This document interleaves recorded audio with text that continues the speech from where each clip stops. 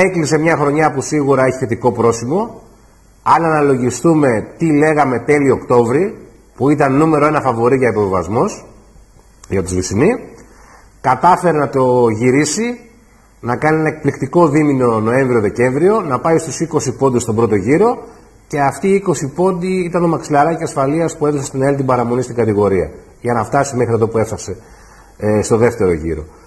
Συν το γεγονός ότι για ένα, για ένα λεπτό δεν πήγε σε έναν ακόμη τελικό με τον γκολ του Χρυστοδουλόπουλου, σίγουρα η χρονιά θεωρείται πετυχημένη, αλλά το ζητούμενο είναι από εδώ και πέρα.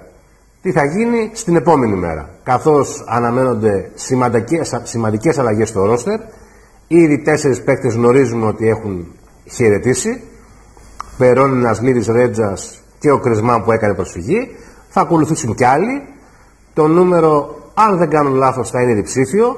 Άρα φαντάζεται τι έχει να γίνει. Φεύγουν 10, θα έρθουν άλλοι 10. Και εκείνη το μεγάλο στοίχημα του Αντωνίου, ο οποίος θα είναι προπονητής και την επόμενη σεζόν στην ΑΕΛ, μιας και αύριο έχει προγραμματιστεί συνέντευξη στην για να τον ξαναπαρουσιάσει ο Κούγιας. Τον δηλαδή ο ξαναπαρουσιάσει. τη Νέας Χρονιάς. Θα τον ξαναπαρουσιάσει. Ναι. Ω προπονητή της Νέας Χρονιάς τώρα. Άρα Χρήστο Και να μας αποδεικνύεται ότι δεν ήταν και τόσο αναλώσιμος ο Αντωνίου, γιατί κάτι τέτοιο λέγαμε έτσι. Κάπως έτσι το είχαμε όταν Ναι. ήρθε. Ήτανε, ήτανε το ρίσκο το οποίο πήρε και μια πλευρά και η άλλη. Αν τη έβγαινε, συνέχιζε. Αν δεν τη έβγαινε, δεν θα συνέχιζε. Μάλιστα. Βγήκε και δικαιωματικά του δίνει τα ενία για την επόμενη χρονιά. Φανταστείτε, είναι πιο δύσκολο όμως να παίρνεις μια ομάδα από την αρχή με μεταγραφές, με προετοιμασία, με χιλιαδιό και κρατήστε ότι εκεί στη, με- στην καλοκαιρινή περίοδο και με να ανοίξει, εκεί ο Κούγιας είναι λίγο δύσκολος. Μάλιστα.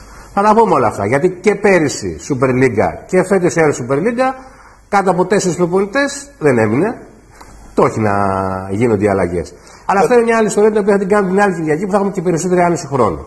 Περιμένουμε πάρα πολλά ναι, από σένα, αυτά Χρήστο. όσον αφορά ένα σύντομο απολογισμό της χρονιάς η οποία μας χαιρέτησε ουσιαστικά σήμερα. Την ΑΕΛ την χαιρέτησε χθες και η επόμενη μέρα θα δούμε τι έχει. στο Όσον πρόγραμμα. αφορά